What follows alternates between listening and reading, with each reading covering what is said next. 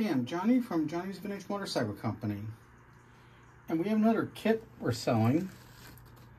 This is a 74 to 75 Z1 or KZ900 903 cylinder with uh, the Wiseco 1015 kit. This makes this is what we do to all our bikes that we're restoring the majority of them. Uh, this this is an extra added tune-up like there's no tomorrow.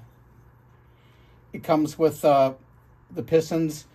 There we have them marked where they go. There's no two pistons the same. So uh, anyway, where they're marked, how they came out. Comes with a spring style head gasket. This is all nice, nice stuff.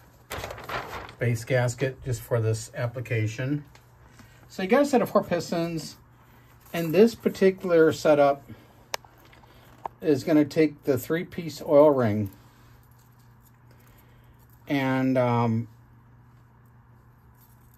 what it is is is this is the uh, this goes in the middle, the two thin ones, and these are the compression rings that go in.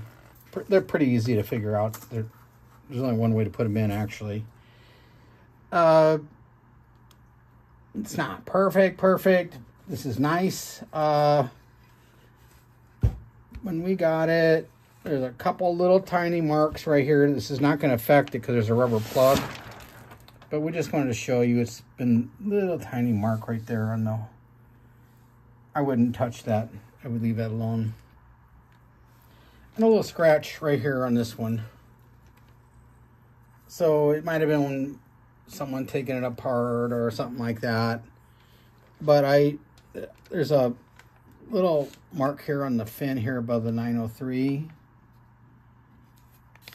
Um,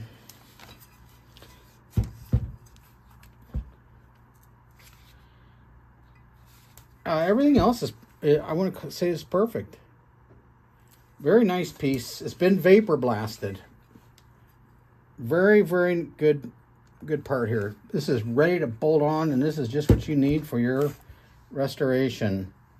Very nice. So, uh, thanks for looking our stuff, and this will be on our webpage for sale. All right. Happy